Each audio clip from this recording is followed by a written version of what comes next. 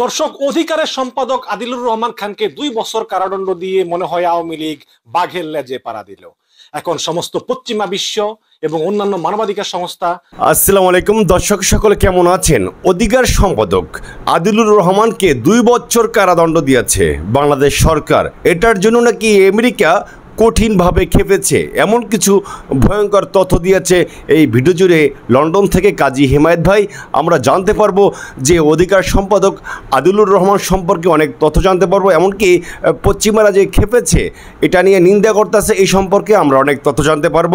কথা বাড়াবো না, চলে যাব স্ক্রিনে। তার আগে ছোট্ট একটা রিকোয়েস্ট যারা আমার এই চ্যানেলটি এখন পর্যন্ত সাবস্ক্রাইব করে নেয় অবশ্যই সাবস্ক্রাইব করে পাশে থাকার বেল বাটন অন করে দেবেন। কথা বাড়াবো না, চলে যাব স্ক্রিনে। দর্শক, অধিকারের সম্পাদক আদিলুর রহমান খানকে দুই বছর কারাদণ্ড দিয়ে মনে হয় আওয়ামী লীগ বাঘের লেজে পাড়া দিল।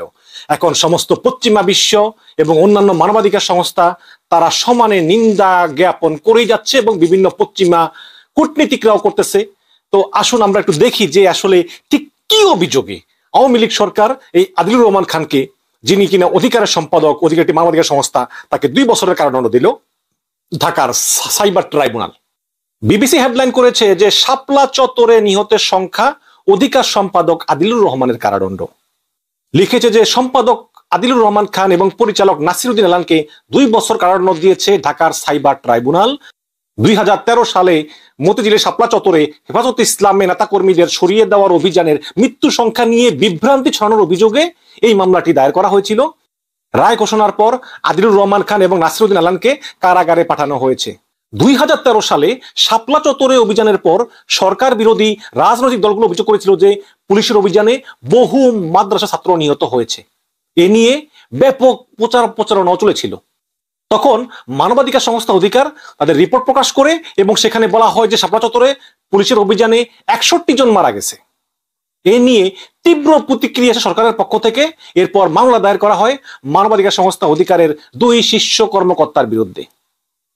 এবং রাষ্ট্রপক্ষের আইনজীবী বলেন যে একষট্টি জন মারা গেছে এটা প্রকাশ করে এই অধিকার শুধু বাংলাদেশি না, বরং সারা বিশ্বের মধ্যে বাংলাদেশের ভাবমূর্তি ক্ষুণ্ণ করেছেন। সেক্ষেত্রে বাংলাদেশের মুসলমানদের মধ্যে একটা বিরূপ প্রতিক্রিয়া সৃষ্টি করেছেন। এটা অত্যন্ত জঘন্যতম অপরাধ। এই মামলাটি হয়েছে দুই হাজার তেরো সালে এবং এর নথি দেখানো হয়েছে দুই হাজার তেইশ সালে। এবং এই মামলা কীভাবে প্রমাণিত হলো তা স্পষ্ট নয় বলেছেন আসামির আইনজীবী। রায় ঘোষণার সময় আদালতে বিভিন্ন মানবাধিকার পর্যবেক্ষক উপস্থিত ছিলেন, তবে তারা এ নিয়ে কোনো মন্তব্য করেননি।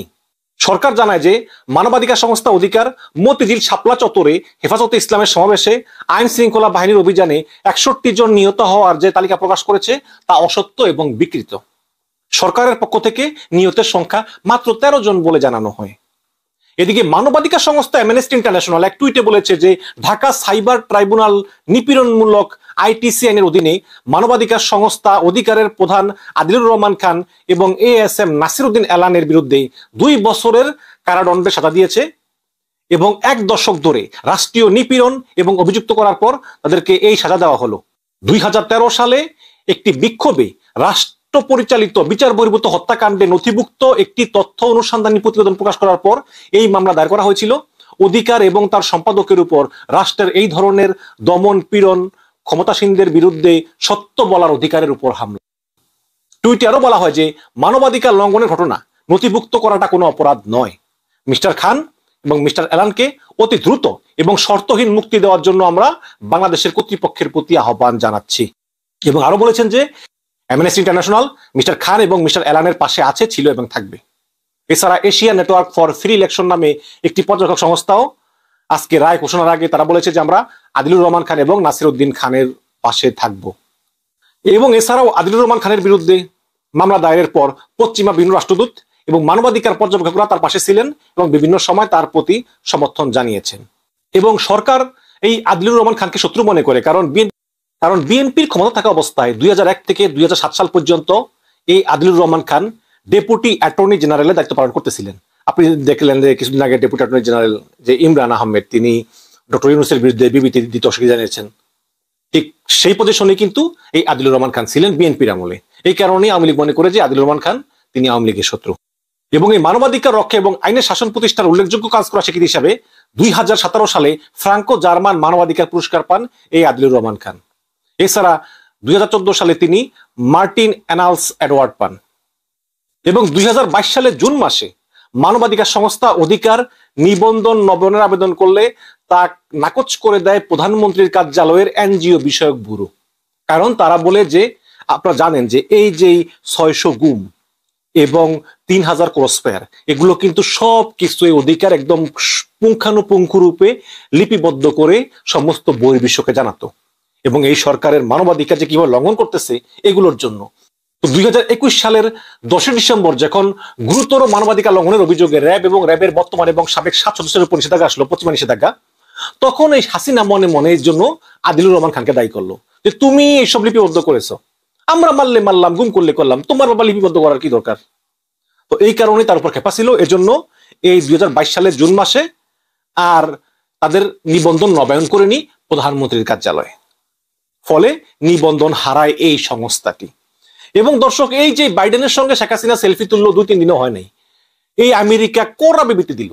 তারা বলেছে যে সরকার মারাত্মক ভুল করেছে এটা করে। আমরা একটু কালবেলার সংবাদটা পড়ি। ঢাকার মার্কিন দূতাবাস এক বিবৃতিতে বলেছে যে যুক্তরাষ্ট্র মানুষের অধিকার ও মৌলিক স্বাধীনতার প্রচার এবং সুরক্ষায় মানবাধিকার কর্মী এবং সুশীল সমাজ সংগঠনগুলোর কার্যক্রমকে দৃঢ়ভাবে সমর্থন করে। আমরা দুই হাজার বাইশ country report on human rights in Bangladesh প্রতিবেদনে অনলাইন এবং অফলাইনে মত প্রকাশের স্বাধীনতার সীমাবদ্ধতা এবং মানবাধিকার সংগঠনগুলো, বিশেষ করে সরকারি বিধি নিষেধের সাথে পরিচালিত হওয়ার কথা তুলে ধরা হয়েছে। এই অবস্থায় ঢাকাস্থ মার্কিন দূতাবাস, মানবাধিকার সংগঠন অধিকারের সম্পাদক আদিলুর রহমান খান এবং পরিচালক এ এস এম নাসিরুদ্দিন এলানের বিরুদ্ধে আজকের রায় উদ্বেগ প্রকাশ করেছে। এবং মনে করেছে যে এটি মানবাধিকার কর্মী এবং সুশীল সমাজের গুরুত্বপূর্ণ গণতান্ত্রিক ভূমিকা পালনের সদিচ্ছাকে আরও দুর্বল করে দিতে পারে। যেই ক্ষমতায় থাকুক না কেন, অধিকার কয়েক বছর ধরে বাংলাদেশের মানবাধিকার পরিস্থিতি পর্যবেক্ষণ করতেছে এবং প্রতিবেদন তৈরি করতেছে। গণতন্ত্রের অপরিহার্য অংশ হিসাবে আমরা মত প্রকাশের স্বাধীনতা এবং প্রাণবন্ত নাগরিক সমাজকে অব্যাহতভাবে সমর্থন করি এবং মৌলিক অধিকার নিয়ন্ত্রণের প্রচেষ্টার বিরোধিতা করি। দর্শক, এই হচ্ছে অবস্থা। আপনার এই অধিকারের প্রতি সরকার কিন্তু আগে থেকে খরগস্ত শেখ হাসিনা অধিকারকে প্রচণ্ড চাপ দিয়েছেন অধিকারের নিবন্ধন বাতিল করে দিয়েছেন এবং এই অধিকার যেহেতু গুম খুনের ঘটনাগুলো ক্রমাগত তারা রেকর্ড করতেছিল এবং বহির্বিশ্বকে জানাচ্ছিল এবং এর উপর ভিত্তি করেই র্যাবের উপর নিষেধাজ্ঞা এসেছিল এই জন্য শেখ হাসিনা কিন্তু এই আদিলুর রহমানকে দায়ী করেন। এবং আদিলুর রহমান খান হেফাজত ইসলামের শাপলা চত্বরে যে একষট্টি জন মারা গেছে বলে তিনি নথিভুক্ত করেছেন, সেখানে তিনি সমস্ত নথি কিন্তু তিনি দেখিয়েছেন। এবং যে কারণেই হোক, সরকারের প্রভাবই হোক বা যে কারণেই হোক, পরবর্তীতে তিনি আসলে এই একষট্টি জন দেখাতে ব্যর্থ হন। ব্যর্থ হন এই কারণে যে সরকার তার প্রভাব খাটিয়ে যারা যারা মারা গিয়েছে, সেসব লোকদের পরিবারদেরকে এভাবে বুঝিয়ে সুজিয়ে অনেক কিছু করেছে, এরকম একটা অভিযোগ আছে। যেই একষট্টি জন মারা গেছে বলে অধিকার তথ্য দিয়েছে সে একষট্টি জন জীবিত আছে, এটা সরকার প্রমাণ করে দেখাক। তা তো সরকার প্রমাণ করতে পারতেছে না। তো এইভাবে আদিলুর রহমান খানের উপর একটা অন্যায়ভাবে তাকে দুই বছর কারাদণ্ড দিয়েছে এবং আমি মনে করি যে শেখ হাসিনা একটা মারাত্মক ভুল করেছে। আপনি হয়তো বলবেন যেটা তো আদালত দিয়েছে, শেখ হাসিনা তো কিছু করার নাই। ভাই, আমরা জানি আদালত কার কথায় চলে এই দেশে। এই দেশে আদালত কার কথায় চলে, আইন কার কথায় চলে, আর বিচার কার কথায় হয়। শেখ হাসিনা এটা অত্যন্ত ভুল করেছে। এভাবে ক্রমাগত মানবাধিকার লঙ্ঘন তারপরে মানবাধিকার কর্মীদের উপর হামলা, কারাদণ্ড, ইউনুসের উপর মিথ্যা মিথ্যা মামলা, এগুলোর ফল কিন্তু ভালো হবে না। এবং এটা অচিরেই দেখতে পারবেন। আর যারা সেলফি তোলায় খুব খুশি হয়েছিলেন তাদের উপর রইল এক বালতি সমবেদনা। ধন্যবাদ। সম্মানিত দর্শক, আমরা দেখতে পেয়েছি কাজী হিমায়ত ভাই আদিলুর রহমান সম্পর্কে যে তথ্যগুলো দিয়েছে, তাকে নাকি বাংলাদেশ সরকার নাকি দুই বছর কারাদণ্ড দিয়েছে। এটা নিয়ে নাকি পশ্চিমারা কঠিনভাবে খেপেছে। এমন কিছু তথ্য দিয়েছে কাজী হিমায়ত ভাই লন্ডন থেকে। আপনারা সকলেই তার আলোচনা দেখতে পেয়েছেন। এই বিষয় নিয়ে আপনাদের মন্তব্য কি? অবশ্যই আপনারা মেসেজ করে জানাতে পারেন। ভালো থাকবেন। আসসালামু আলাইকুম।